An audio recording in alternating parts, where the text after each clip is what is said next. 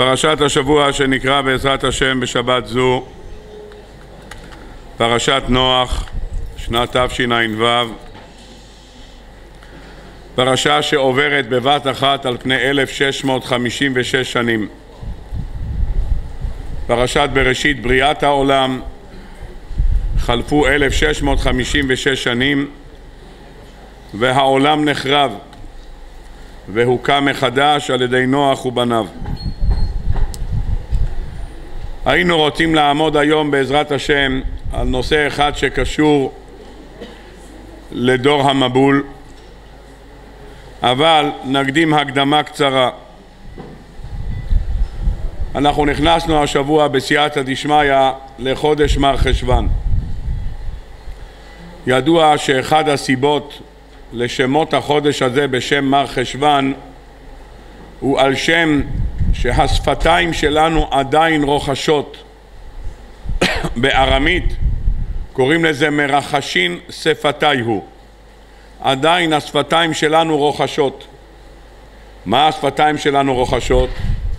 אדם שכרגע עולה לו לשיר משהו עולים לו השירים מהימים הנוראים.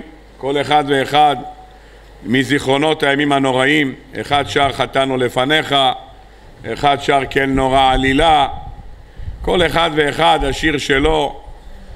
ולכן השאלה על פני כמה זמן זה נמשך? כמה זמן אנחנו עדיין תחת השפעת הימים הנוראים?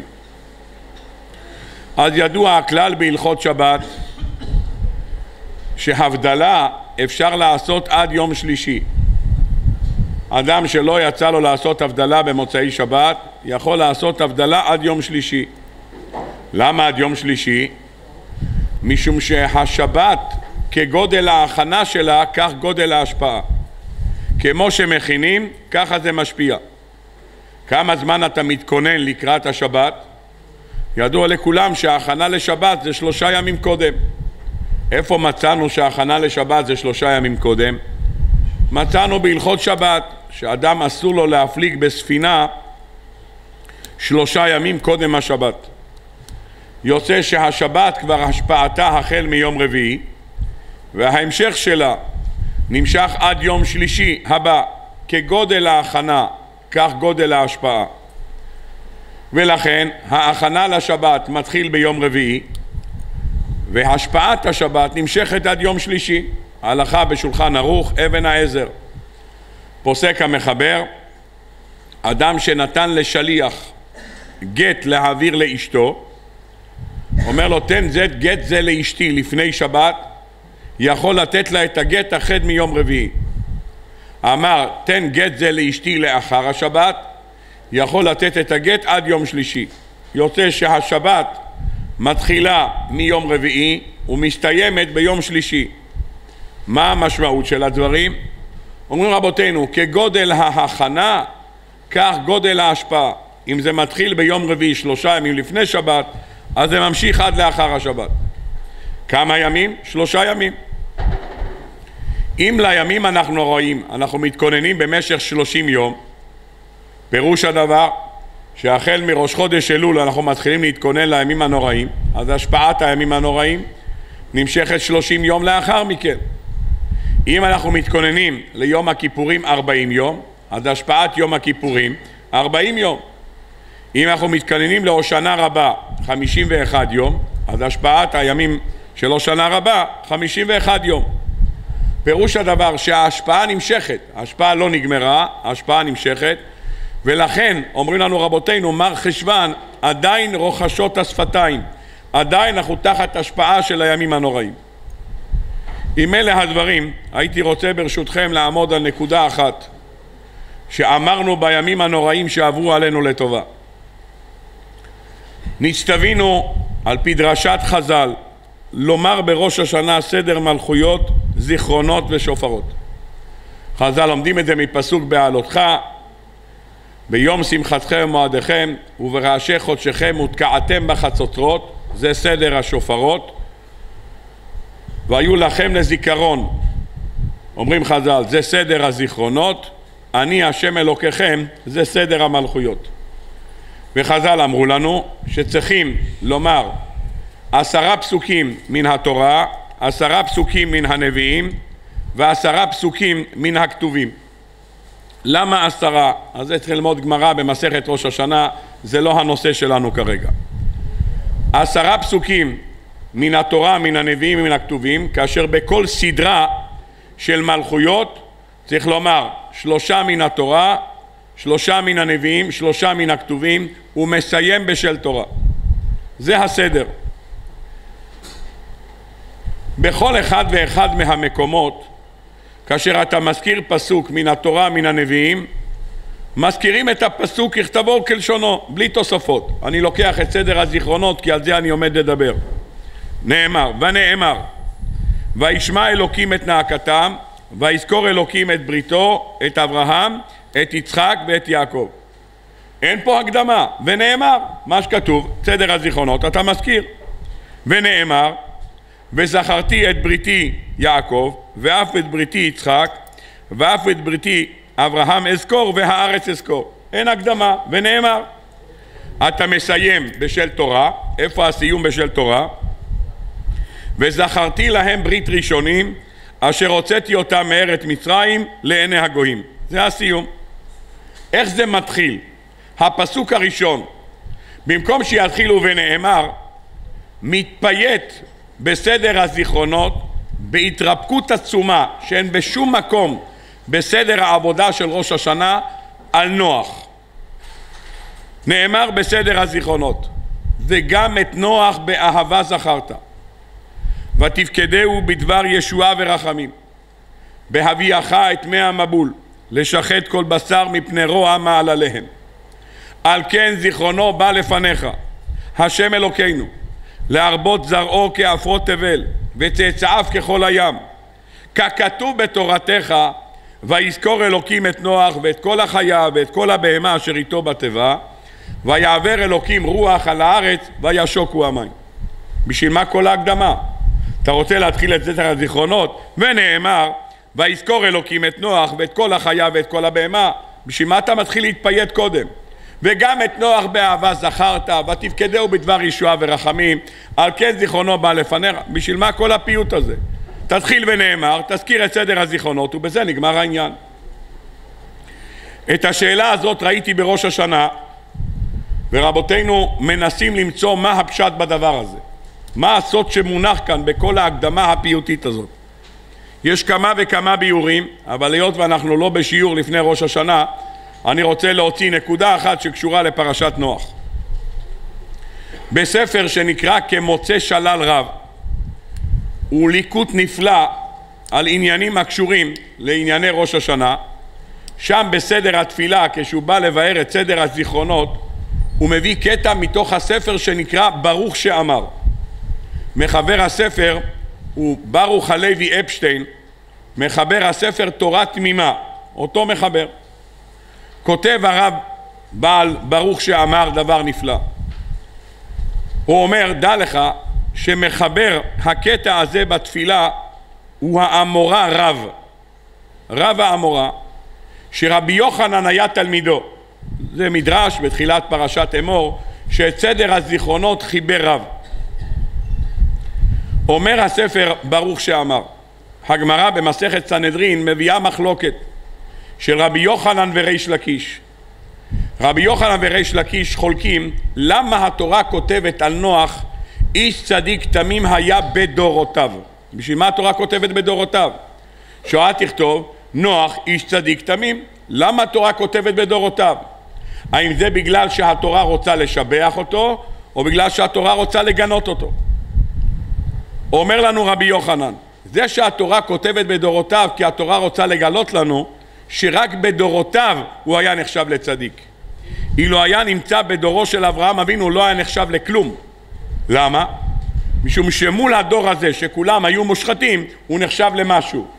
אבל אם היית שם אותו בדורו של אברהם אבינו ושם היה לך שם ועבר, היה לך אנשים גדולים, היית שם אותו שם הוא לא היה נחשב לכלום. באור של אברהם אבינו לא היית רואה אותו בכלל. מה? נכון. יש דורשים אותו לשבח ודורשים אותו לגנאי. זה בדיוק מה שהגמרא אומרת. ריש לקיש אומר לא, מה פתאום, אדרבה. אומרת התורה, איש צדיק תמים היה בדורותיו. אם היית שם אותו בדורו של אברהם אבינו על אחת כמה וכמה שהיה נהיה צדיק.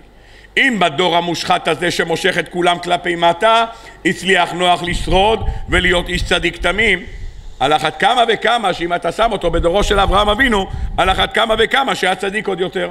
מחלוקת ריש לקיש ורבי יוחנן. אה? נו, אז מה קרה? אז מה, אז מה השאלה? אני אומר, החז"ל אומרים, נוח בדור ההוא היה צדיק, היית שם אותו בדורה של אברהם, הוא היה נעשה קטן. שם היה דור אחרי זה, שם עדיין לא התפתח. טוב, אלה הדברים שמביאים בגמרא, מסכת סנהדרין, דף ק"ח. מה? אדרבה, בדור הזה הצדיק, תאר לעצמך, בדור הזה הצליח להיות צדיק. לא, אבל בדור הזה שכל אחד נמשך כלפי מטה והצליח לשהות צדיק, תאר לעצמך מה היה בדורות אחרים. טוב, אלה הדברים שכתוב בגמרא. רב, היה לו תלמיד, והתלמיד של רב הוא רבי יוחנן. רבי יוחנן היה תלמיד של רב. רבי יוחנן אומר שאם כתוב בתורה בדורותיו, פירוש הדבר בדורותיו היה צדיק, אבל אם היה בדורו של אברהם אבינו לא נחשב לכלום. מאיפה הוא לקח את זה? אומר הספר ברוך שאמר, ממה שכתוב בתפילה. רב הרבה שלו שתיקן את נוסח התפילה של סדר הזיכרונות כתב וגם את נוח באהבה זכרת ותפקדהו בדבר ישועה ורחמים למה? הסיבה פשוטה מאוד למה? כיוון שאותו דור מה היה? הדור הזה היה דור מושחת כי הקדוש ברוך הוא דחר את נוח באהבה ותפקדהו בדבר ישועה ורחמים בהביאך את מי המבול לשחט כל בשר מפני רוע מעלליהם למה הקדוש ברוך הוא אהב את נוח? הוא אהב את נוח כי הדור הזה כולם היו מושחתים ואם הדור הזה כולם היו מושחתים ונוח שרד לכן הוא אהב אותו אז שיטתו של רב מתקן התפילה הוא בדיוק מה שאומר התלמיד שלו בגמרא שהתורה כותבת איש צדיק תמים היה בדורותיו, פירוש הדבר בדורותיו היה צדיק, אבל אם היה בדורו של אברהם אבינו לא היה נחשב לכלום. אומר רב, הוא מדגיש את זה בתפילה, וגם את נוח באהבה זכרת. למה הוא זכר את נוח באהבה?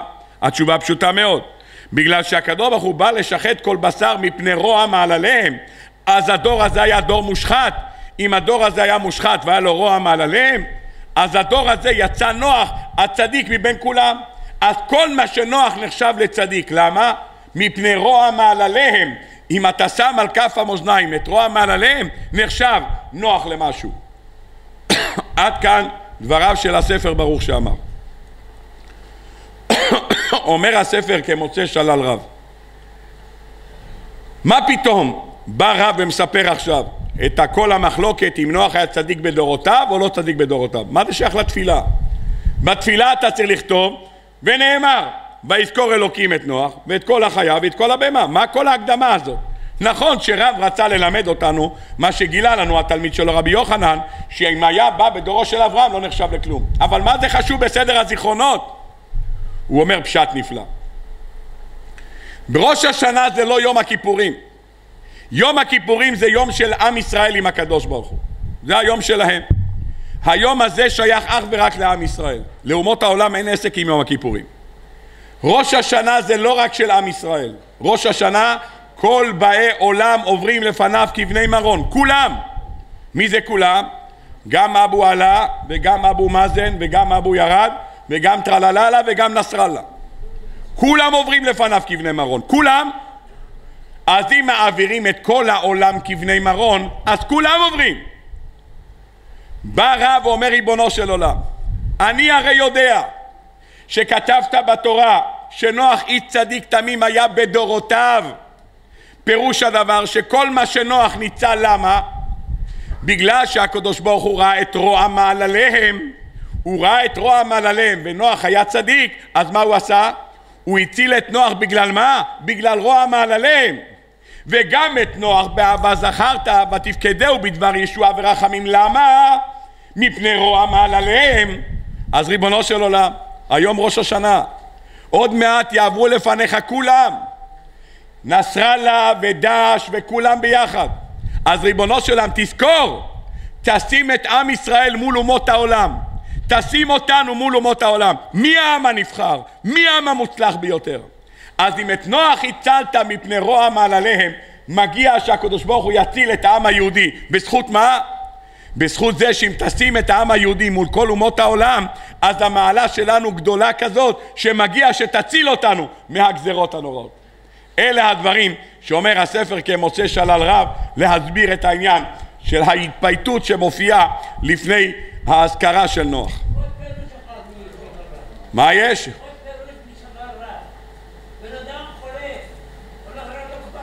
כן.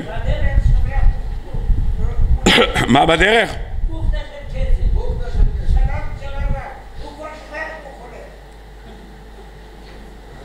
אם הוא שוכח שהוא חולה, סימן שהוא הפעם לא היה חולה. מי שנמצא בטיפול נמרץ לא שוכח שהוא חולה. נו. נו, אז מה הפירוש? מה זה פירוש של מה?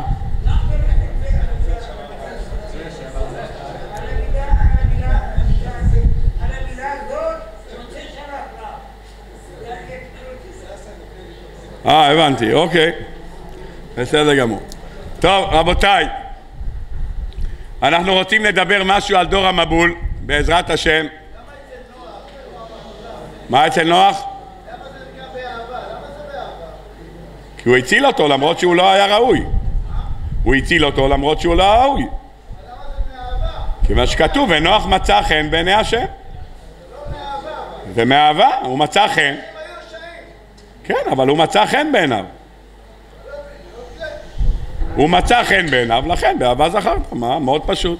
טוב, רבותיי, אני רוצה קצת לדבר על חטא דור המבול וממנו להגיע לאיזשהו נושא חדש. ידוע לכולם, בסוף הפרשה הקודמת קראנו וירא השם כי רבה רעת האדם בארץ וכל יצר מחשבות ליבו רק רע כל היום. אומר שם הכלי יקר על איזה עוונות נאמר כי רבה רעת האדם. בדרך כלל אדם עובר עבירות מסוימות הוא נרגע. יש שני עבירות אומר הכלי יקר שככל שהאדם חוטא בהם יותר זה מתעצם אצלו התאווה. מה הם? אומר הכלי יקר האחד זה גזל משום שחז"ל אומרים לנו אוהב כסף לא יצבע כסף והדבר השני זה עריות אלה שני חטאים שהאדם לא, נגר, לא נרגע מהם וככל שהוא יותר חולה במחלות האלה זה מתגבר. והמחלות האלה מתגברות אצלו. ולכן נאמר בפסוק כי רבה רעת האדם זה הולך ומתרבה כל הזמן. ובאמת שני החטאים האלה היו הסיבה להבאת המבול. חז"ל אומרים כי השחית כל בשר את דרכו על הארץ אומרים חז"ל כי השחית אדם את דרכו על הארץ לא נאמר אלא מה נאמר? כי השחית כל בשר את דרכו על הארץ מה זה כל בשר? אומרים חז"ל כל בשר זה כולל את כל מה שנקרא בשם בשר הווה אומר אנשים, נשים, בהמות, חיות ועופות כולם השחיתו את דרכם עד כדי כך שחז"ל אומרים שהשפעת הדור הזה השפיעה וירדה עד כדי השפעה גם על הצמחים. אומרים חז"ל, רב לוליאני בר תברין בשם רב יצחק אמר, אף הארץ זינתה. היה אדם זורע חיטים ומפקד זונים. האדם זורע חיטים, מוצא להחוצה זונים. שמת קולרבי, יצא לך גזר, שמת גזר, יצא קישואים. פירוש הדבר, גם העולם עצמו התבלבל והרשיע. השפעת בני אדם, כמו שאומר המסילת ישרים, כשאדם עושה מצוות הוא מתרומם ומרומם את כל העולם איתו, כשהעולם מידרדר וחוטא, אז הקדוש ברוך הוא מוריד את כל העולם אחריו. חז"ל אומרים, רבי עזריה ורבי יהודה ורבי סימון בשם רבי יהושע בן לוי אמר על הכל מעריך הקדוש ברוך הוא אפו חוץ מן הזנות. הקדוש ברוך הוא מעריך אף אבל יש עבירה אחת שלא רק שהוא מסלק את השכינה שלו הוא גם תובע את זה על המקום התביעה הזאת, התביעה של הזנות זו התביעה העיקרית חז"ל אומרים, עומר רב שמילוי בכל מקום שאתה מוצא זנות אנדרלמוסיה באה לעולם והורגת טובים ורעים. החטא הזה של האריות הוא חטא כל כך נורא שהורגת טובים ורעים. רב הונא בשם רב אמר דור המבול לא נמחו מן העולם עד שכתבו נימוסיות לזכר ולבהמה. פירוש הדבר, אנשים ערכו הסכמי נישואים בין זכרים ובין עם בהמות. מה העוון הנורא בכתיבת נימוסיות? העוון הנורא הוא גוף החטא, הוא לא הכתיבת נימוסיות. אומרים המפרשים במדרש, נימוסיות פירוש הדבר שכתבו הסכמי נישואים בין זכרים ובין בהמות. מה העוון בזה? אומרים המפרשים שם במדרש, כל זמן שאדם יש לו שריטה או יש לו סטייה והוא מתבייש בה, העבירה עבירה, אבל הוא מתבייש בה. שבן אדם יוצא החוצה ואומר אני עושה הסכם עם זכר, פירוש דבר שאתה לא מתבייש בזה, אתה אין לך שום בושה מזה, זה לבד מביא את אחרוניו. עד כאן דברי רבותינו. רבותיי, אני רוצה ברשותכם ללמוד איתכם קטע בדברי פסוקים בפרשת שבוע שעבר. נו, כולם למדו את זה ברוך השם. כמובן מכירים את הפרשה בעל פה, פרשת בראשית. אני רוצה ברשותכם לקרוא קטע בפרשה בסייעתא דשמיא, יזכה אותנו באריכות ימים, הבורא יתברך שמו, אנחנו בעזרת השם עוד ניתן על זה שיעור, יש פה כמה דברים מאוד מאוד מעניינים. התורה בסוף פרשת בראשית מספרת על התרבות הבריאה. התורה לא מספרת כמה נשים היה לכל בן אדם, התורה לא כותבת כמה ילדים היה לכל אחד ואחד. אני רוצה ברשותכם לקרוא את הפסוק. אומרת התורה בסוף פרשת בראשית. בואו נקרא את הפסוקים בפנים. כמה פסוקים. ויחי קנן שבעים שנה ויולד את מהללל. ויחי קנן אחרי הולידו את מהללל ארבעים שנה ושמונה מאות שנה ויולד בנים ובנות. כמה בנים וכמה בנות היו לו? מישהו יודע? אף אחד לא יודע. ויחי מהללל חמש שנים ושישים שנה ויולד את ירד. ויחי אחרי הולידו את ירד שלושים שנה ושמונה מאות שנה ויולד בנים ובנות. והיו כל ימי מהללל חמש ותשעים שנה ושמונה מאות שנה וימות. בכל אחד ואחד כתוב ויולד בנים ובנות. כמה? עשר, עשרים, שלושים, ארבעים, חמישים? כמה נשים היו לו? אף אחד לא יודע. התורה לא כותבת כמה נשים היו לו וכמה ילדים ילדו. היחיד שהתורה מפרטת כמה נשים היו לו, בואו נקרא מה כתוב. ויקח לו למך שתי נשים, שם האחת עדה ושם השני צילה. איך קראו לאשתו של מעללל? אף אחד לא יודע. איך קראו לאשתו של ירד? אף אחד לא יודע. אז מה חשוב לך מה קוראים לאשתו של למך? התורה מספרת לך. אחת קראו לו עדה ואחת קראו לה צילה. ותלת עדה את יבל. הוא היה אבי יושב אוהל ומקנה. יבל הזה הוא היה הרועה הבדואי הראשון. גם הבל היה רועה צאן, אבל הבל הביא לצאן אוכל והלך ללמוד. הוא היה מתנוענע בעקבות הצאן. אם נגמר פה המרעה, היה בדואי, הלך חמש קילומטר הלאה. נגמר פה, הלך חמש קילומטר הלאה. שם אחיו, נולד לו אח בשעה טובה ומוצלחת, קוראים לו יובל. מה עשה יובל? הוא היה אבי כל תופס כינור ועוגב. קונסרבטוריום הראשון שהיה בבריאה היה אצל יובל, הוא היה הקונסרבטוריום הראשון, נו, ברוך השם. בשביל מה הוא צריך לנגן על כינור ועוגב? אומר רש"י, לנגן לעבודה זרה. וצילה גם היא ילדה. מה החידוש הגדול שהיא ילדה? למה שלא תלד? טוב, וצילה ילדה. מה החידוש וגם היא ילדה? מה החידוש הראשון בזה? וצילה גם היא ילדה. את מי ילדה? את תובל קין. תובל קין. היה לו סבא, עדיין אז לא היה לו, הסבא שלו עוד היה חי. קראו לו קין. קין הרג את הבל. איך הוא הרג את הבל? הוא לא ידע איך להרוג אותו. אומרים חז"ל, ניסה באבנים, ניסה בזה, ניסה בזה, ניקב אותו כקברה, עד שראה שהוא מת. אמר תובל קין, הנכד של הסבא קדישא קין, אמר, אני אייצר עכשיו כלי משחית שלא יצטרכו לעבוד קשה. הלך הוא והתחיל לייצר חורש נחושת וברזל. אומר רש"י במקור, הוא מצחצח כל כלי אומנויות נחושת וברזל, יצרן כלי הנשק הראשון. ואחות תובל קין, נעמה. נעמה קשורה לפרשת השבוע שלנו. איפה נעמה מתחברת לפרשת השבוע שלנו? כי היא הייתה אשתו של נוח, כך אומר כאן רש"י. טוב, אז בעצם אם אתה רוצה לדעת, העולם החדש שהוקם, נוח, מי הייתה הרבנית של נוח? קראו לה נעמה. או, עכשיו אתה יודע. כמו שאתה יודע את שמה של אשתו של אדם הראשון שמנה אותך לעולם, קוראים לה חווה, היא הייתה אם כל חי, אז היה אדם וחווה. העולם נחרב, העולם הוקם מחדש על ידי שני אנשים. מי היצרנים שהקימו את העולם מחדש? נוח ונעמה. בסדר גמור, אלה שני אנשים. למה שניהם מתחילים בנון? אז בעזרת השם עוד נדבר על זה. אנחנו רק רוצים לעמוד על נקודה אחת. תשימו לב, אני מי שפרשת נוח קצרה לו ונשאר לו זמן, אני רוצה רק שתעבדו על נושא אחד. איך קוראים לבנים של למך? יש לו שלושה ילדים. איך קוראים להם? אחד קוראים לו יבל, השני קוראים לו יובל, והשלישי קוראים לו תובל. כל השמות מסתיימים בבית ולמד.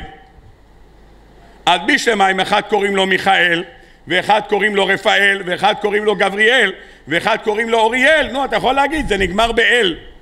למה זה נגמר בבל? כולם אצלו בבלבל, מה יש לו עם זה? נגמר, מתחיל ביבל, יובל, תובל. מה, מה קרה? מה יש לו? מה הוא התלבש על הבית והלמד היצור הזה? טוב, אחד מקודם בשיעור אומר לי כי הוא היה אהבל. טוב, טוב, לא ידעתי להגיד לו אם נכון או לא, הוא אמר לי שיש כזה ממרה, אומרים על מישהו שהוא לא יוצלח, מה אומרים עליו? שהוא למך. ככה אומרים עליו, הוא למך, אומר נו אם הוא למך, אז זה אהבל, אה? למך. לא. בסדר, כתוב למך, התכוונו ללמך, זה ביידיש כתוב, טוב. בקיצור, הלך התורה מספרת על אחד בשם למך. למך היה פציינט, היו לו שלושה ילדים, אחד קוראים לו יבל, השני קוראים לו יובל, והשלישי קוראים לו תובל. בסדר גמור. נשאלת השאלה, בשביל מה התורה מספרת לנו? אתה יודע מי היה האופטומטריסט הראשון? אתה לא יודע, נכון? למה שתדע? מי, שהיה, מה זה משנה לי מי שהיה? העיקר שיש עכשיו משקפיים בחינם, מה אכפת לי מי היה האופטומטריסט הראשון? למי זה משנה? מי ייצר את הוונטילטור, אתה יודע? אתה לא יודע. מי היה הגנן הראשון, אתה יודע? אתה גם לא יודע. נו, אז למה התורה תספר, תספר לך מי היה הנגן הקונסרבטוריום הראשון שקוראים לו יובל? ואם לא תדע שקוראים לו יובל, הוא לא איזה נפקא מינה, כמו שאתה לא יודע מי האופטומטריסט הראשון, ואתה לא יודע מי היה החייט הראשון, ואתה לא יודע גם מי אינסטילטור הראשון, וחשמלאי הראשון אתה גם לא יודע. נו, אז ברוך השם, כמו שאת זה אתה לא יודע, אז גם לא תדע מי היה הקונסרבטוריום הראשון. זה גוי סנף קמינה, שהתורה תכתוב פסוק שלם להגיד לך שהקונסרבטוריום הראשון קוראים לו יובל. ואם קוראים לו יחזקאל, אז מה היה קורה? הוא סנף קמינה, איך קוראים לו? היה אחד שיצר את זה, טוב. מה התורה אומרת? חוץ מזה, היה אחד שעבר עם הבהמות מקום למקום, הגרויצנב אם הוא היה נשאר במקום, הלך, לא, מה נפקא מינה? אז הוא הלך ממקום למקום, טוב. ואז לא, זה חשוב לדעת, כי קוראים לו יבל, אתה יודע מה. איך יבל מסתדר עם העיזים ביחד, שעובר ממקום למקום, אתה צריך לדעת למה, טוב. טובל קין, תדע לך, זה משדרג את קין, כי קין לא ידע איך הורגים, בא הנכד שלו וטיבל את זה, עשה את זה משופר, משודרג. הוא אמר, אני אעצר לכם נשק, אתם תקבלו סכינים, עם חוד חזק בעזרת השם, אם זה יהרגו, מה, יזרוק הסבא שלי, זרק עליו אבנים, היכה אותו, בלה, בלה, לא יודע איך להרוג אותו, אני אביא לכם כלי נשק, ייצר לכם דברים טובים, ברוך השם. רבותיי, כל הקטע הזה פה, פלא מופלא כל מה שהתורה כותבת כאן.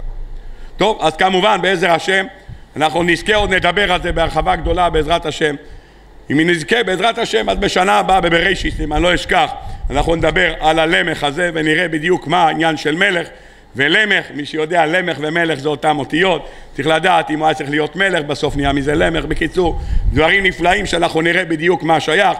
ידוע שלמך זה ראשי תיבות לב, מוח וכבד, ולא ההפך כבד לב, מוח. בקיצור, דברים שרבותינו, דברים כאן בהרחבה גדולה, אנחנו נעמוד על זה בעתיד. אני רק רוצה לקחת משפט אחד.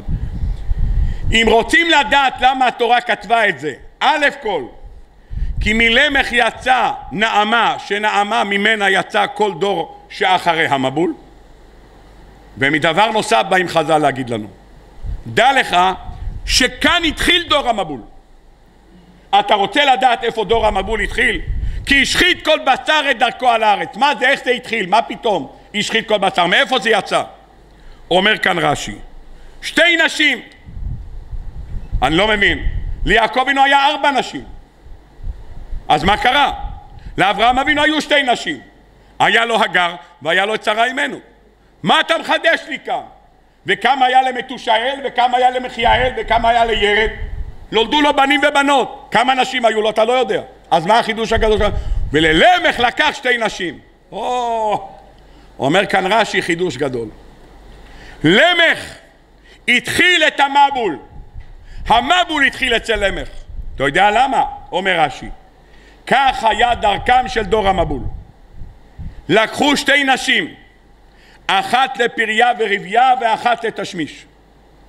הם לקחו שתי נשים, אדם יכול לקחת עשר נשים אם הוא חושב שיכול להסתדר איתם. עד חרם דרבנו גרשום. כל זמן שהאישה יש לה תפקיד, ומהי התפקיד?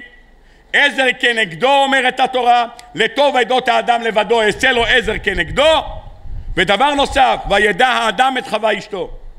יש לו תפקיד להעמיד דורות ולהקים לגיונות למלך מלכי המלכים הקדוש ברוך הוא. זה תפקידה של האישה בעולם, והתפקיד של הגבר הוא תפקיד לעסוק בתורה ולקיים מצוות. האישה נועדה להיות עזר כנגדו. בא למך והמציא שיטה. מה השיטה? לוקחים אישה להעמדת תולדות ולוקחים אישה נוספת והאישה הנוספת הזאת מעקרים אותה נותנים לה לשתות מי עקרים, נותנים לה לשתות חומר שמעקר אותה והיא הופכת להיות לא ברת הולדה. אז בשביל מה היא נועדה? אומר כאן רש"י היא נועדה לדבר אחד למילוי תאוות. בשביל זה היא באה. זו שהיא באה למילוי תאוות משקה אותה עקרים כדי שתתעקר. מקושטת ככלה ומאכילה מעדנים.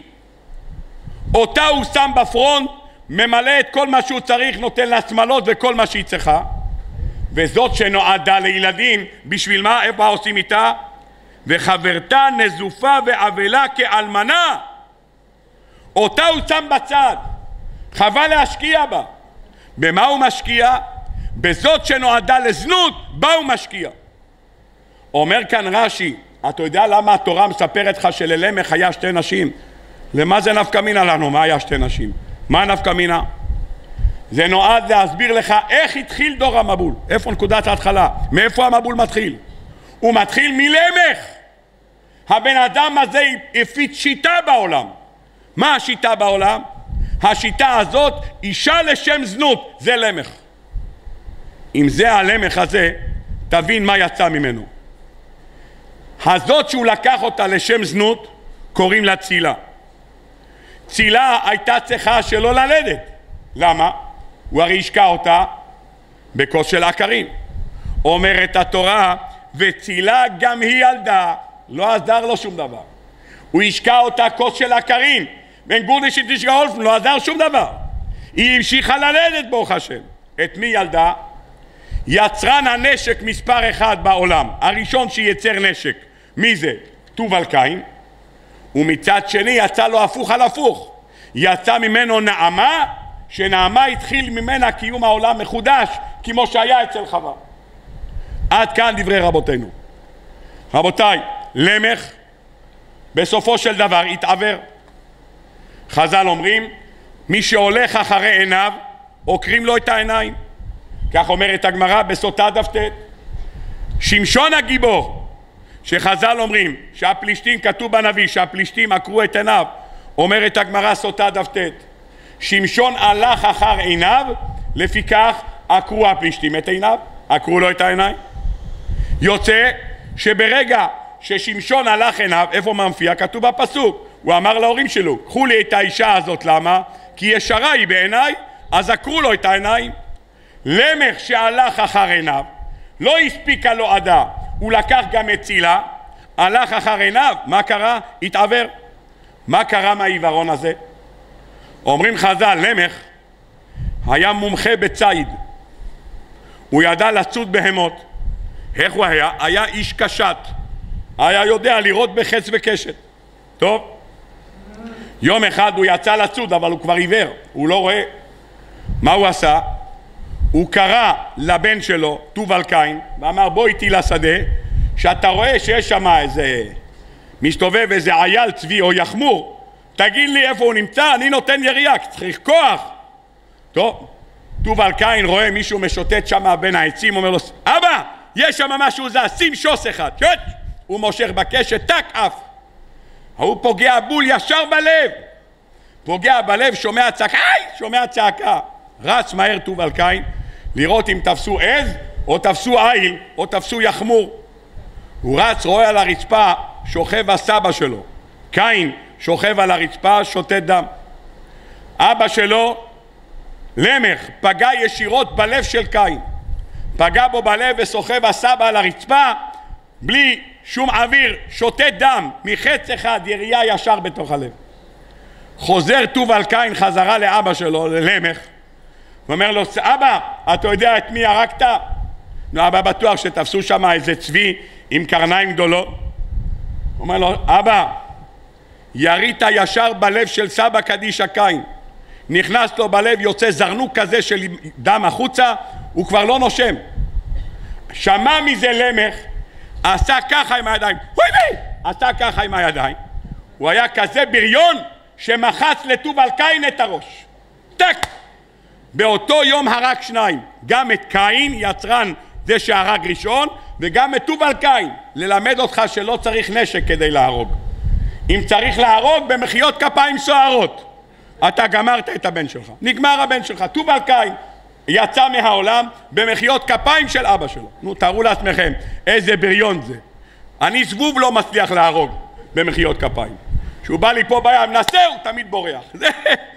צ'ק אחד חיסל את תובל קין. אין תובל קין בעולם, נגמר הסיפור. גם הזיידה קדישא קין וגם תובל קין הלכו מהעולם. טוב, עד כאן דברי רבותינו. יוצא שכל הסיפור הזה שקראנו בשבת שעברה, שמספר על לידתה של נעמה, שממנה מתחיל אלה תולדות נוח, תולדות נוח זה שם חם ויפת, מאיפה זה בא? זה בא מלמך, אבל מלמך גם בא יסוד של המבול, ממנו מתחיל הצרות שהביאו לחורבן העולם, וממנו, מה שנקרא הפוך על הפוך, יצא גם נעמה שממנו תקומת העולם. רבותיי, אם אלה הדברים, בואו בעזרת השם נגיע לביאור יסוד אחד בעבודת פרשת נוח. לאחר שהעולם השחית את דרכו, וכפי שאמרנו קודם, העולם הגיע למצב של הרס מוחלט, כי השחית כל בשר את דרכו על הארץ, גם הבהמות וגם הצמחים כולם, החליט הקדוש ברוך הוא להחריב את העולם. הקדוש ברוך הוא החריב להחריב את העולם, ותהליך ההחרבה נמשך במשך 120 שנה. נוח בנה תיבה, ואנשים שאלו למה, ואמר ככה וככה, קיצור בנה תיבה. אומרים חז"ל, ולא נחתם גזר דינם של דור המבול אלא בגלל דבר אחד, על הגזל. כך אומרת הגמרא. לא נחתם גזר דינם של דור המבול אלא על הגזל. נו, כל אחד שואל את עצמו, מה יש בגזל? אתה שם אריות על כף המאזניים מול גזל, מה יותר חמור? אצלנו ודאי שהאריות יותר חמור. אצל אומות העולם זה הכל אחד. יש להם שבע מתנות בני נוח ועל הכל הם חייבים אותו דבר, על הכל חייבים איתה. עבודה זרה, גילוי עריות, שפיכות דמים, עבר מן החי, ברכת השם, גזל ודינים. על כל שבע המצוות שלהם הם חייבים איתה.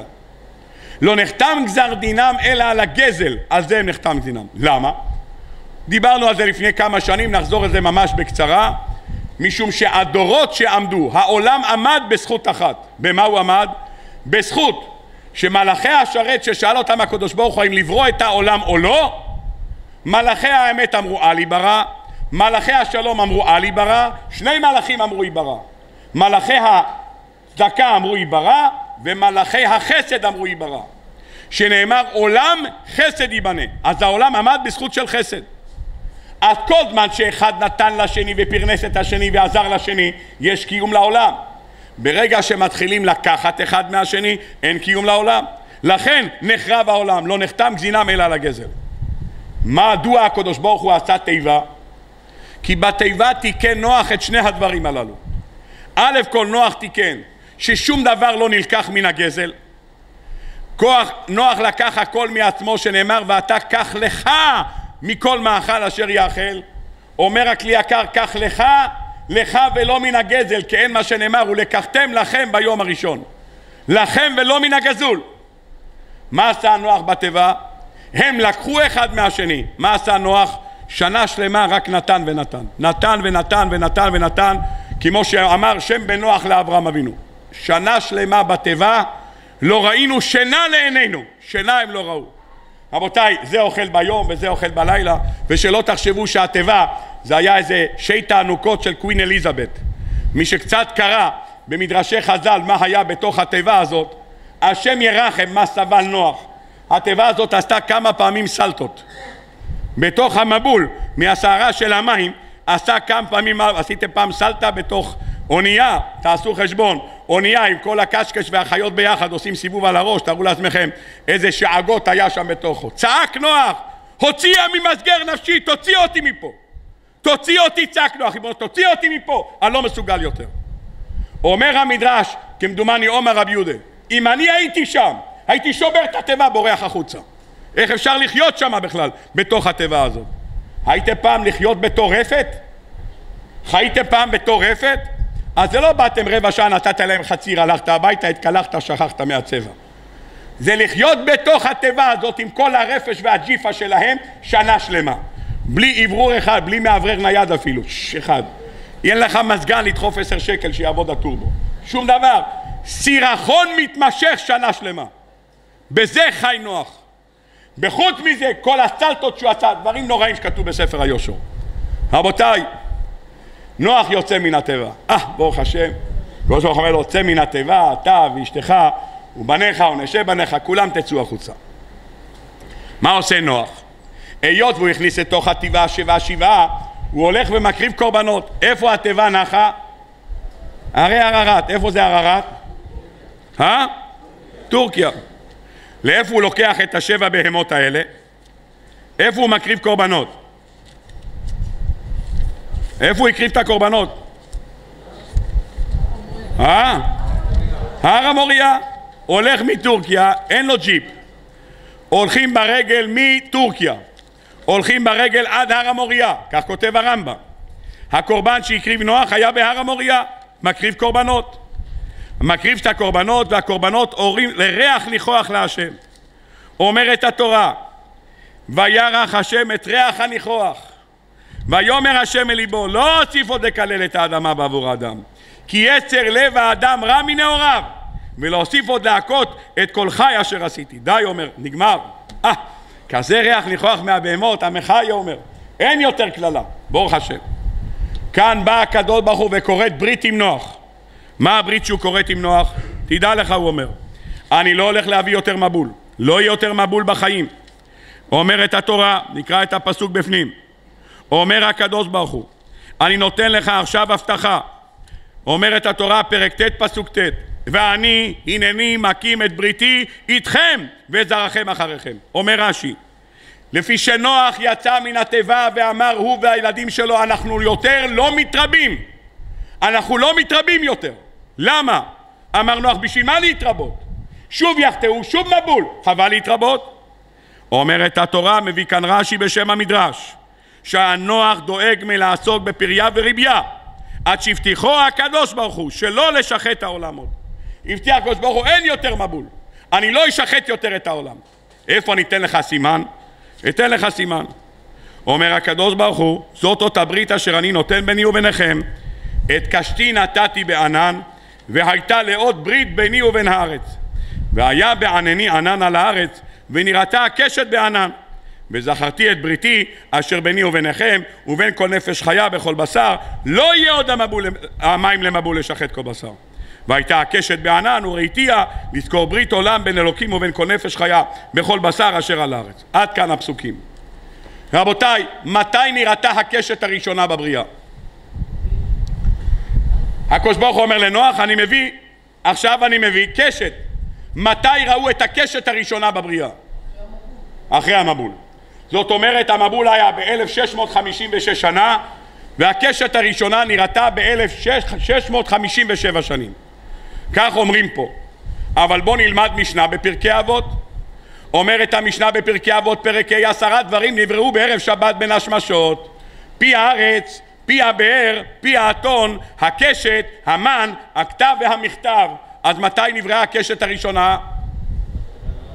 ביום שישי לפני כניסת השבת אז מה כתוב כאן שאומר הקדוש ברוך הוא נותן לך ברית של קשת? קשת נבראה לכאורה, על פי מה שכתוב במשנה, ביום שישי אחר הצהריים. או, אומר רש"י במקום, נבראה נבראה, אבל לראות לא ראו אותה עד דורו של נוח. כמו שפי האתון נברא בערב שבת בין השמשות, מתי האתון התחילה לדבר? רק אצל בלעם. כמו שהקדוש ברוך הוא פתח את פי הארץ, אבל מתי נפתחה הארץ זה היה? אצל קורח. נבראה הקשת, מתי ראו אותה? ב-1657 לבריאת העולם. רבותיי, בא הרמב"ן ואומר, רבותיי, יש לכם טעות. למה? קשת זה דבר טבעי. למה זה דבר טבעי? שאומרים היוונים, ככה קרו היוונים, שכאשר קרני שמש מגיעות במגע עם מים, אתה מיד תראה במים את כל צבעי הקשת. שקרני השמש נשברים על מים, אתה תראה בזה את כל קרני הקשת. אומר רבן, תיקח גיגית של מים, תשים אותה ברחוב, לא רק בגשם, תשים אותה בבית, גיגית של מים. תסתכל בתוכו, כשקרני השמש נשברים לתוכו, תראה בתוך המים מה? כל צבעי הקשת תראה בתוכו. רבותיי, למי שיש בבית, יש לו איזה מקום ששם שוקעת השמש, והוא יכול לראות איך החלון נזרק על החלון לתוך הבית, הוא יכול לראות בתוך הבית, במקום שנזרק מהחלון, שבירת קרני השמש בצבעי הקשת. הרבה אנשים שיש להם דירות לצד מערב ורואים את שקיעת השמש, רואים שזה שוקע, אתה רואה על הרצפה את צבעי הקשת. אומר רמב"ן זה דבר טבעי, אז אם זה דבר טבעי אז איזה סימן?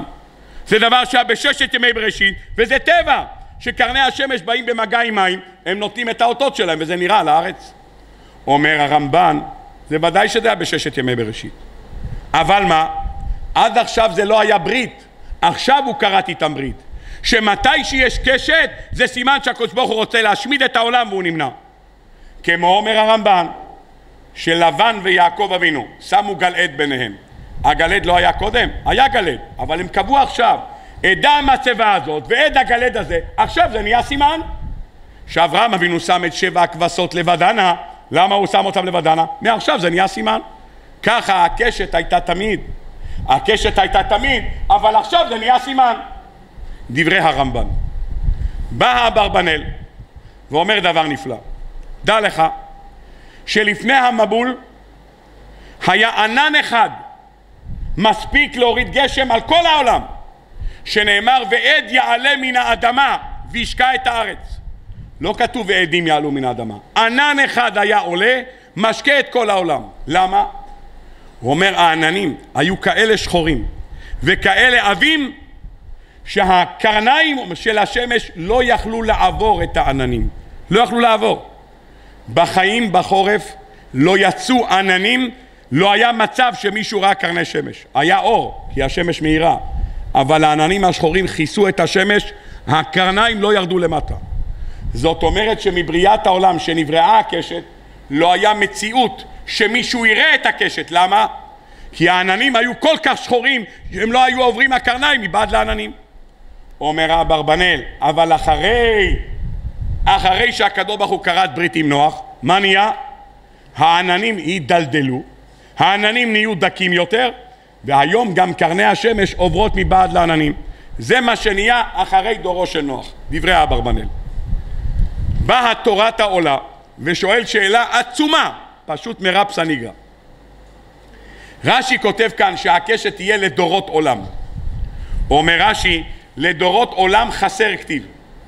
לא כתוב לדורות ל"ד ו' ר' ו' ת', כתוב ל"ד ר' ת'. למה כתוב חסר? אומר רש"י כי היה דורות שלא היה קשת. איזה דורות לא היה קשת?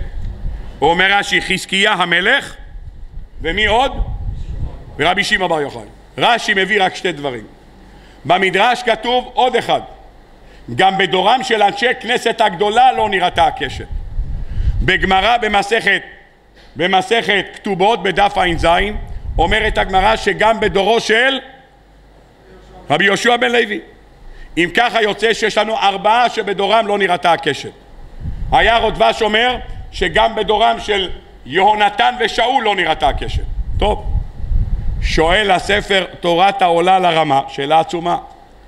אם כשיטת הרמב"ן שירידת הקשת בענן זה דבר טבעי, בכל מקום שיורד גשם וקרני השמש הולכים על הגשם נהיה קשת, אז איך יכול להיות שבדורו של רבי שמעון בר יוחאי לא היה קשת, ואיך יכול להיות שבדורו של רבי יהודה ברבי לוי ובדורו של חזקיה המלך לא היה? אם אתה אומר שבכל מקום שקרני השמש פוגעים בגשם נהיה קשת, איך יכול להיות שבדרם לא ירד גשם? לא כתוב שהיה רב. אז איך יכול להיות? שאלת הספר תורת העולה שאלה פצצה. עונה תשובה נפלאה ביותר.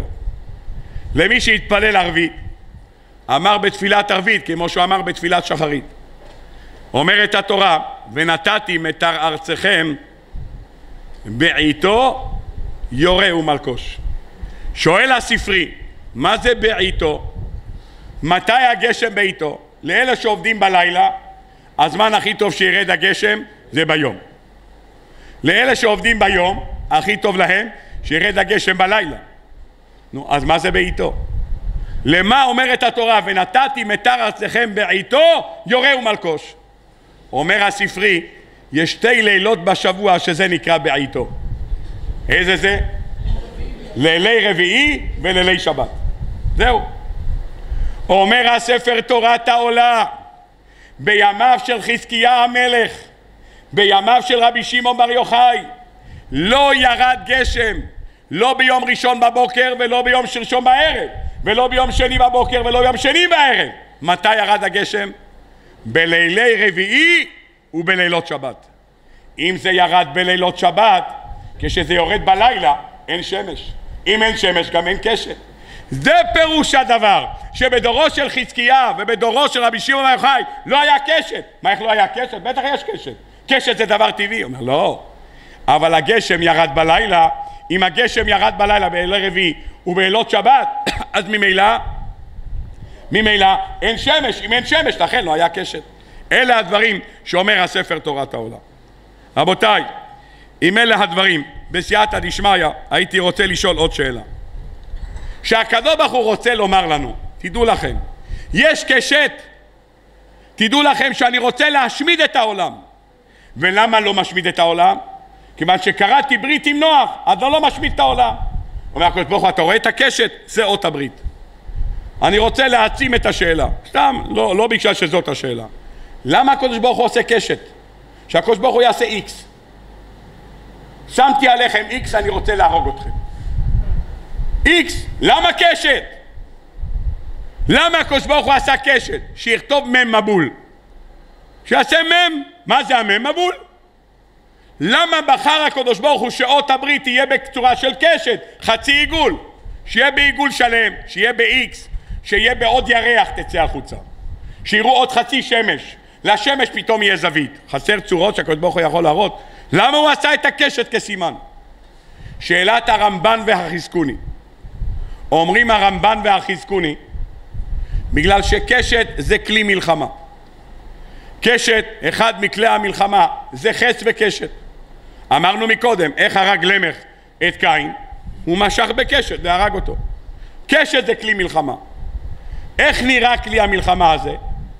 כלי המלחמה הזה נראה, יש לנו קשת עגולה ועליו יש מיתר ישר, הקשת מופנה כלפי האויב, המיתר צמוד אל הלב שלך, אתה מושך את המיתר, אל המיתר אתה מצמיד חץ, מותח את המיתר וטק, אף החץ אף רחוק. אומר הקדוש ברוך הוא, איך הקשת נראית? הקשת נראית בעיגול בצורה כזאת. אומר הקדוש ברוך הוא, אם הייתי רוצה לראות בכם, איך הייתי צריך לעשות את הקשת? הפוך. הקשת כלפי מטה והמיתר בחלק העליון. אני לא עושה את זה. איך אני עושה? אני עושה את השיטה שאתם יורים בי, אתם חוטאים, אתם יורים בי, אז המיתר מופנה כלפיי, אתם יורים בי. אתם יורים בי ואני לא יורה בכם, אלא מה אני עושה?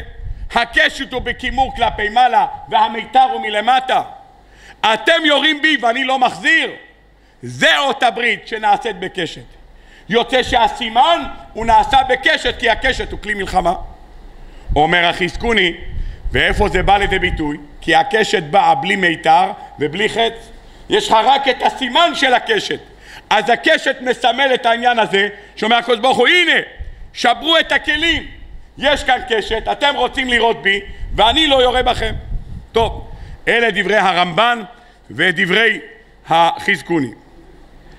עם אלה הדברים, הייתי רוצה להביא עוד קטע אחד שמופיע בספר ישועות מלכו. אומר הספר ישועות מלכו, בעבר נתן הקדוש ברוך הוא לכל העולם להישחט, כי השחית כל בשר את דרכו על הארץ. פירוש הדבר, כל הגלובוס כולו, כולו היה מושחת. כולם היו מושחתים. כל הגלובוס זה עיגול שלם. אומר הספר ישועות מלכו, אמר הקדוש ברוך הוא, זה לא הולך להיות יותר. אין מצב שאני אתן לכל העולם להיות מושחת. אלא מה? מקסימום עד החצי. חצי העולם יגיע, כמו שאומרת הגמרא מסכת קידושין, לעולם יראה האדם עצמו, כי חציו חייב וחציו זכאי, אני אביא את העולם לחצי. ברגע שאני אראה שהעולם הופך להיות חצי יותר מאשר יכולת ההשחתה, אני מוציא מבול. אלה הדברים שאומר הספר ישועות מלכו. רבותיי, אם אלה הדברים, תרשו לי להיכנס קצת יותר לעומק ולהסביר מהו יסוד הקשת וכמובן שאנחנו לא נוכל להקיף את זה בשיעור אחד אבל לפחות מה שנקרא על קצה המזלג. אילו היו שואלים אותנו למי מהאבות או מהשבטים שייכת הקשת ידוע לכולם שלכל אחד יש סמל הסמל של דגל ראובן, מה היה כתוב עליו? דודאים. אז שואלים אותך למי שייך דודאים? למי היית משייך דודאים? מיד היית אומר ראובן. אם מציירים כתר, או, מציירים כאן, הנה, אבני החושן, מציירים, למי זה שייך? לוי. יהודה, כתר, כל אחד אתה מסמן אותו. אל תסתכלו פה כי אין פה את זה. רבותיי, למי היינו מחברים קשת? אה? ברוך אתה אדינו אלוהינו מלך העולם שהכל נהיו בדברו.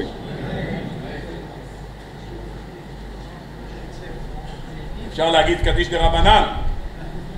למי שייך הקשת? שמעון, למה שמעון? אה?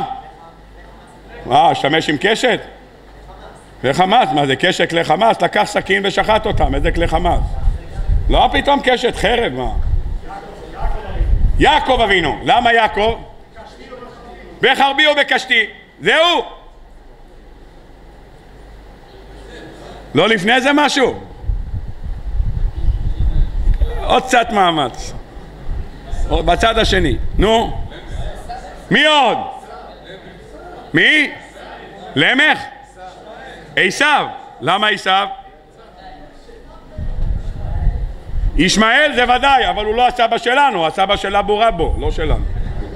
אני מדבר שלנו. ישמעאל כתוב, העיר עובד קשת, ודאי כתוב. מי עוד? פנחס? יצחק? איפה יצחק? אה?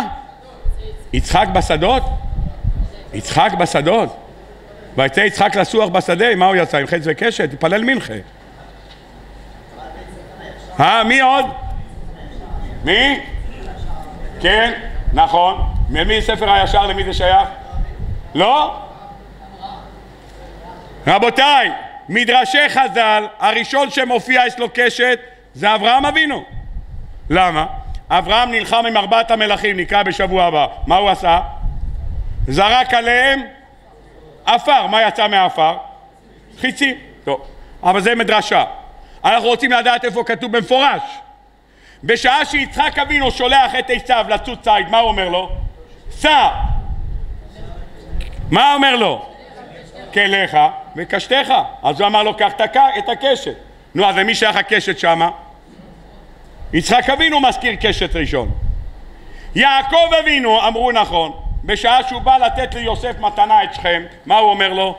ואני נתתי לך שכם אחד על אחיך, אשר לקחתי מיד האמורי בחרבי ובקשתי נו, בעזרת השם נקרא את זה אחרי, אחרי, אחרי זה, אחרי חנוכה, נו. חרבי ובקשתי. אומר שם רש"י שתי דעות. אחד אמר חרבי ובקשתי ממש, כי בשעה ששמעון ולוי הרגו את שכם, תושבי שכם יצאו להילחם איתו, ויעקב נלחם איתם. עם שכמיה נלחם בחרבי ובקשתי, הוא נלחם בשני הדברים האלה. אומר הזוהר, קשת, אברהם, יצחק ויעקב. למה? קשת ראשי תיבות, תקיעה, שברים, תרועה. או, זה קשת. נו, אז חזרנו לראש השנה אם אנחנו רוצים או לא. אז חזרנו בחזרה לתקיעו, שבור תרועו. אומר הזויר, תקיעו כנגד אברום, שבורים כנגד יצחוק וטרועו כנגד ינקל. טוב. אז אנחנו לא הולכים עכשיו להסביר עכשיו את תקיעה, שברים, תרועה, להחזיר אותנו לשופר.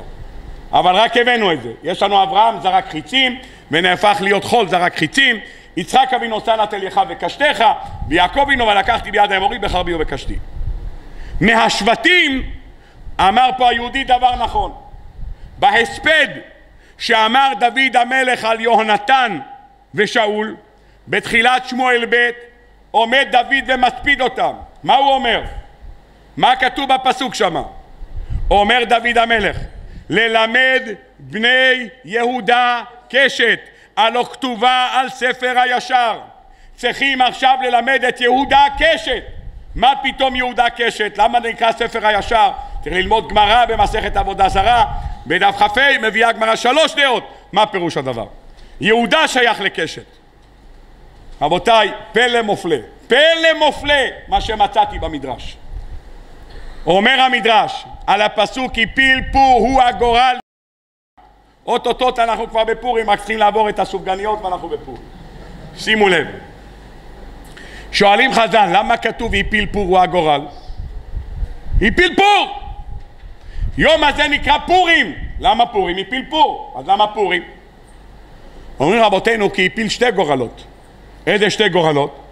אחד הוא רצה לדעת באיזה חודש הוא הולך לחסל אותם והדבר השני הוא רצה לדעת באיזה יום בחודש אז הפיל פור הגורל המן היה מומחה מספר אחד לכל מה שקורה עם עם ישראל. קרה כל מה שקרה. דברי ימי ישראל הכל היה המן מומחה. ידע פסוקי התורה ידע מנהגים. תפתחו מדרשי חז"ל על פורים המן נומבר וואן בכל מנהגי ישראל. רבותיי, פלא מופלא, הוא היה הפיליפיני של מרדכי, למי שמכיר את זה, הוא היה עובד אצלו, ממילא הוא ידע את כל המנהגים, קראו לו בוא תכבה פה את החשמל, פה תדליק, פה תעשה, תדליק את הוונרטור, הוא ידע בדיוק כל דבר.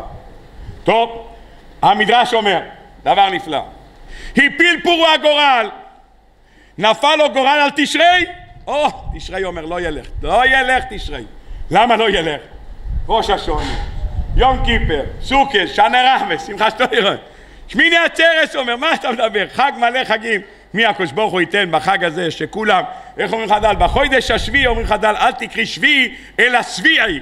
כולם שבעים ממצוות ברוך השם. כזה מן שובע ברוך השם יש לנו מצוות. לא ילך חשוון, לא ילך חשוון. למה לא ילך חשוון? מה יש בחשוון רבותיי? אה? מה יש בחשוון? למה אי אפשר חשוון? זה מר חשוון, לא? אדרבה, יכול ללכת טוב מר חשוון. אה? אדרבה, נו, אדרבה, זה חודש טוב, אין בו חגים, אז היה החג הראשון, יהיה המן. למה לא הולך? אה? טוב, זה הוא לא ידע כנראה, מדרשי חז"ל הוא לא קרא. או, אמר זכותה של רחל אימנו! מה מרוכל י"א בחודש, חודש חשבון, נו, רחל אימנו תיתן לטפל בילדים שלה בחודש מרחשן, זה חודש שלה, זה היורצת היחיד שיש, השנה גם לא אומרים תחנון, כי זה יוצא בשבת. אז ברוך השם. לא ילך, י"א בחשוון לא ילך ברוך השם. הגיע לחודש קיסלב, אומר, או, oh, זה חודש טוב. נפל לו קיסלב, אומר, לא ילך קיסלב. למה? החודש הזה מזלו קשת.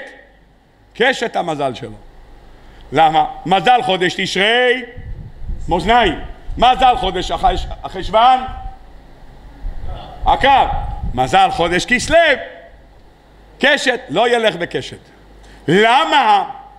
שתעמוד להם זכותו של יוסף הצדיק. רבותיי, אתם יכולים להסביר לי? קשת יוסף הצדיק. יוסף הצדיק, אם צריכים לחבר אותו לחודש אחד בחודשי השנה, לאיזה חודש היינו מחברים אותו? איזה חודש יוסף? אדר, מה המזל שלו? דגים. למה המזל שלו דגים? יוסף. יוסף לא שלטה בין הבישה, דגים לא שלטה בין הבישה, זה גם המזל היחיד שיש בו תאומים, יש בו זוג דגים, באף אחד במזלות אין את זה. אין שברים ואין גדיים ואין דליים ואין צרטנים ואין בתולות, יש אחד מכל דבר. תאומים אין לך ברירה, מה תשים אחד תגיד זה תאומים? אתה חייב לשים שתיים. מאזניים, אתה חייב לשים שתיים. תשים אחד, זה נראה מצניח הפוך, אין לך ברירה. דגים, אתה יכול לשים דג, כמו שאתה שם טלה, כמו שאתה שם שור, למה שמת דגים? כי זה כנגד יוסף, והיות והדר פעמים הוא אחד, פעמים הוא שתיים, אז זה כנגד יוסף. כשזה חודש אחד זה יוסף, כששני חודשים זה מנשה ואפרים. אומר אומון, לא ילך, לא ילך, לא ילך, חודש כסלו לא ילך. למה? המזל שלו קשת. יויסף המזל שלו עומד חזק. יויסף קשת, כסלו, אף אחד לא מביא את זה. מה הומון מביא? שנאמר! הומון מביא ראיה מן הטוירו! שנאמר ותשב באיתן קשתו. נאמר אצל יויסף ותשב באיתן קשתו. יוסף עוד צימחני יש לו מה לעשות עם קשת יש לו מה לעשות עם קשת לא ילך רבותיי יוסף עם קשת מה מונח כאן אנחנו רוצים לומר דבר. רבותיי היינו יכולים להרחיב בזה הרבה אבל לנו את הזמן. אנחנו רק רוצים להוציא מכאן משפט אחד. קשת כידוע לכולם זה סימן להשראת השכינה. אומרת הגמרא במסכת ברכות דף נ"ט הרואה קשת צריך שיפול על פניו. הלכת ברחוב ראית קשת? איזה יופי עושה תמונות אומרת הגמרא ראית קשת פול על הפנים שלך מה, מה קרה? מה ליפול על הפנים? אומרת הגמרא יחזקאל הנביא ראה את הנוגה ספר יחזקאל פרק א' כמראה הקשת אשר יהיה בענן ביום הגשם כן יהיה מראה הנוגה סביב ומראה דמות כבוד השם ואראה, אומר יחזקאל, ואפול על פניי. הוא נפל על הפנים שלו כשהוא ראה קשת. אומרת הגמרא, לי תעלה במערבה. משום דמחזי כמאן דסגיד לקשתא. זה נראה כבן אדם משתחווה לקשת, אז לא לעשות את זה. אז מה צריך לעשות? לברך ברכה. מה הברכה שאתה מברך? ברוך אתה השם אלוקינו מלך העולם, זוכר הברית ונאמן בבריתו וקיים במאמרו. רבותיי, אומרת הגמרא, אסור להסתכל על הקשת. ראית אותו, תגיד ברכה, מהר תוריד את העיניים, אל תסתכל על זה. שמי שמסתכל על זה, אומרת הגמרא בחגיגת ט"ז, יעשה עיוור. הוא יהפוך להיות עיוור. אומרת הגמרא, אדם מסתכל על שלושה דברים, נהפך לעיוור. מי שמסתכל בקשת, מי שמסתכל בידיהם של הכהנים בשעה שהם נושאים את כפיהם ואחד שמסתכל על נשיא ישראל שנאמר ונתת מהותך עליו יש עליו הוד שכינה יוצא שקשת זה מראה שכינה רבותיי אם עדיין מרחשים השפתיים שלנו בואו נזכר רק בפסוק אחד שאמרנו אותו בסוף אבוידע סיועים המוסופים של יום הכיפורים. אני מדבר לבני עדות אשכנז לא הספרדים. אצל הספרדים יש נוסח אחר. אמת מה נהדר! אמרנו ביום הכיפורים בהתרגשות עם דמעות בעיניים. היה מראה כהן גדול בצאתו מבית קודשי הקודשים בלא פגע. איך הוא היה נראה? כאוהל הנמתח בדרי מעלה מראה כהן. כברקים היוצאים מזיו החיות מראה כהן. כגודל גדילים בארבע קצוות מראה כהן. כדמות הקשת אשר בתוך הענן מראה כהן. הכהן ביום הכיפורים כשיצא מבית קודשי הקודשים הוא היה נראה כמו קשת. קשת יוצאים מבית קודשי הקודשים אחרי יום עבודה חיוורים כמו סיד. ממתי כהן נראה כמו קשת? קשת זה מראה צבעוני. מה קשת? רבותיי בשעה שנכנס הכהן לקודש הקודשים אומר הספר אשיך בחוקיך נכנס הכהן גדול לקודש הקודשים. נקדים הקדמה קצרה. בשיר של יום שאנחנו אומרים ביום שני בשבוע אנחנו מזכירים עד כמה שבחים גדולים על ירושלים מה אנחנו אומרים? יפה נוף, משוש כל הארץ, ירכתי צפון, הר ציון, קריית מלך רב משבחים את עיר בירושלים, עיר הקודש, מה השבח הגדול? אומר הגאון מווילנה, אני לא רוצה להקריא את הגמרא כי זה יהיה ארוך מאוד אומר הגאון מווילנה ששת ימות השבוע מחולקים למה הם מחולקים? הם מחולקים לששת אלפים שנה ביום השני שרים על ירושלים מה שרים? יפה נוף משוש כל הארץ ירכתי צפון קריית מלך רב מה השבח הגדול? כי ביום השני הוא כנגד האלף השני בבריאה מה קרה באלף השני לבריאה? נוח יצא מן התיבה והקריב קורבנות שעלו לריח ניחוח לפני הקדוש ברוך הוא. זה היה באלף השני בבריאה, 1657 שנים לבריאה. זה הפעם הראשונה שקורבן עלה לריח ניחוח לפני הקדוש ברוך הוא. מה מטרת בית המקדש? מה מטרת בית המקדש? להקריב קורבנות. הקורבנות האלה באים לריח ניחוח לפני השם. רבותיי, מה זכה נוח שלא זכה אף אחד אחר לפניו? ונוח מצא חן בעיני השם. מה זה מצא חן? אומרים חז"ל במדרש, אף על פי שהוא לא היה ראוי. הוא מצא חן מלשון מתנת חינם, זה חן. נוח ניצל בזכות מתנת חינם. ביום הכיפורים נכנס הכהן גדול לקודש הקודשים עם? עם כף ומחתה כף ומחתה ועליה מונח הקטורת מונח הקטורת ושם על הגחלים הוא שם את הקטורת מה קורה ברגע שהוא שם את הגחלים? מה קורה? אומרים יצא עשן וכל קודש הקודשים מתמלא עשן כי בענן אראה על הכפורת. הענן בקודש הקודשים. הענן הזה מה מביא? הענן הזה מביא את מחילת העוונות של עם ישראל. שני דברים מביאים. השעיר המשתלח לעזאזל והקורבן הזה החטאת של המנחה. המנחה הזאת הכף עם המחתה זה הכפרה. לוקחים חלבנה והופכים אותה בקודש הקודשים ללבונה כשיוצא החוצה הכהן הגדול באיזה זכות הוא יוצא? אומרים חז"ל כקשת בתוך הענן. כמו שזכה נוח לברית שהקדוש ברוך הוא רוצה להביא חורבן לעולם. הוא לא יביא. מאיפה זה בא? מנוח שהמילים של נוח השם שלו נוח אבל נוח מצא חן חן ונוח זה אותו דבר. החן והנוח אותו דבר כי החן שאנחנו זוכים ביום הכיפורים בא מאוצר מתנת חינם אומר לנו הפייטן דע לך כשכהן גדול יוצא מבית קודשים איך הוא נראה? כדמות הקשת שבתוך הענן. רבותיי אם אלה הדברים בואו נסגור את הקצוות. שאלנו מקודם למה בחר הקדוש ברוך הוא בקשת? נאמר רק תירוץ אחד. אמרנו מה שאומר הרמב"ן אמרנו מה שאומר החזקוני. אנחנו רוצים לומר עוד תירוץ אחד התירוץ הזה כתוב בחצי שורה, חצי שורה, ביערות דבש, בחצי שורה. אני רק רוצה להרחיב בזה, מעבר לחצי שורה שלו, כי הוא בעצם נטע את היסוד המרכזי, ומזה הגענו לסיום. בשעה שהגיע יוסף הצדיק הביתה, אותו יום היה יום חופשי, אף אחד לא היה בבית. ויבוא יוסף הביתה לעשות מלאכתו. מביאים חז"ל שתי דעות. דעה אחת אומרת כפשוטו הוא בא לעשות מלאכתו. דעה שנייה אומרת הוא בא לחטוא. הוא נכנס הביתה כדי לחטוא.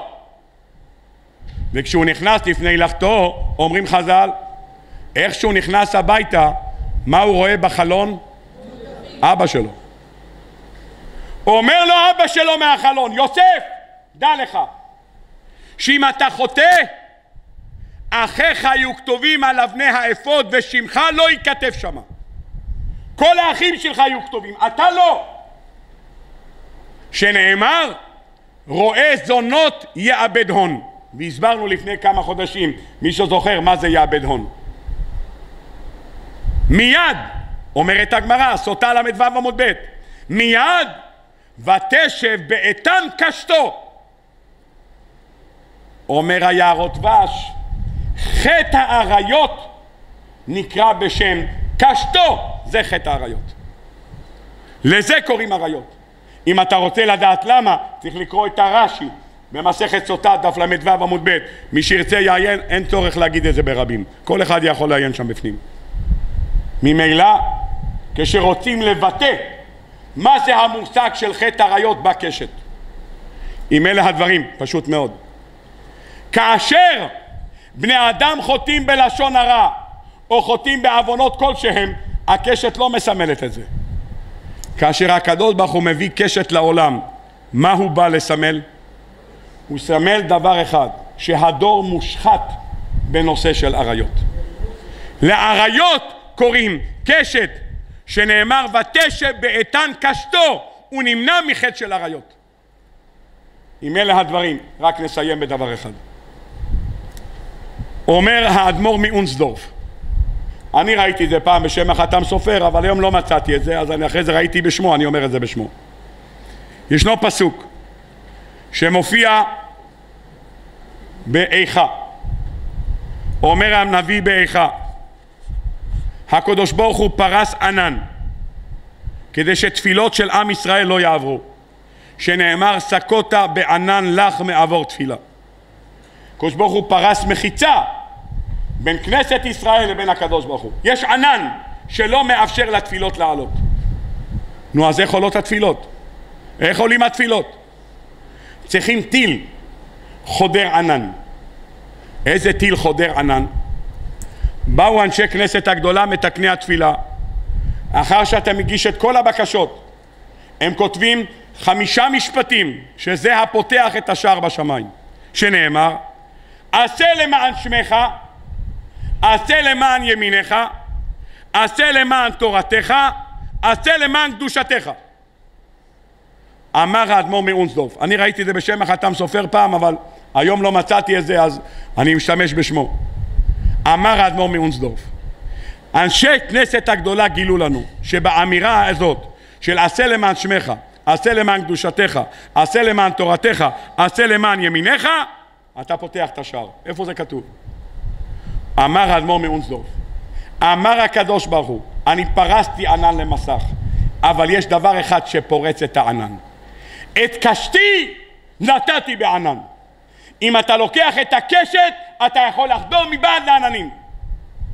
למה לא אומר את הקשת, הוא אומר את קשתי? אמר אדמו"ר ממונסדוב. קשתי! ראשי תיבות. קדושתך, שמך, תורתך, ימיניך את קשתי נתתי בענן. אם אתה משתמש בשלושה ארבעה דברים אלה אתה פורץ את הענן. יוצא שהדבר הראשון שפורץ את הענן זה קדושתך.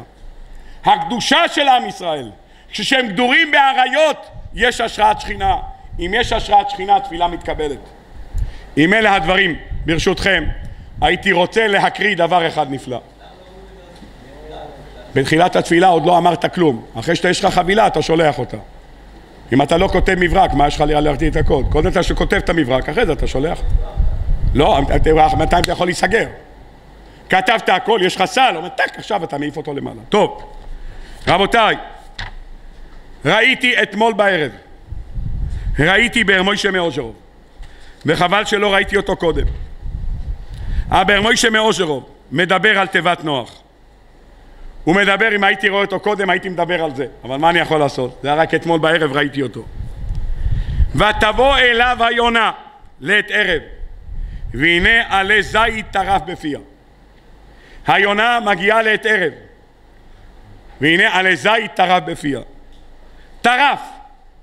אומר כאן הבאר מוישה מאושרו מופיע כאן בפרשה ומופיע בספר הושע כי הוא טרף וירפאנו כוונת מסורה זו ללמדנו שריבוי הצער והייסורים של ישראל כדי שתתקרב גאולתם. עדה עוד הכתיב טרף! הוא מייצר אותנו אבל וירפאנו מה הביאה היונה? עלי זית. ונמשלו כנסת ישראל לזית. למה לזית? אומרים חז"ל מה זית אינו מוציא את השמן אלא על ידי תשעה.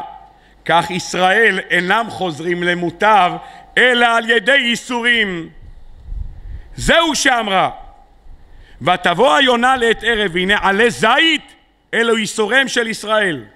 טרף בפיה הייסורים שהם עוברים מה יביא? טרף וירפאנו כדי שנתגאל במה נתגאל?